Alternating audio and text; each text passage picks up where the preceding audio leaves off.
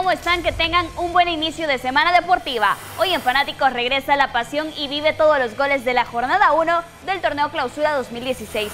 Además, en el fútbol internacional, el Barcelona goleó al Bilbao, pero el Atlético sigue líder en la liga. Recuerda que puedes estar en contacto con nosotros en nuestros medios sociales, en Twitter, arroba fanáticos21, en Facebook fanáticos con el signo más y en Instagram, arroba fanáticos21.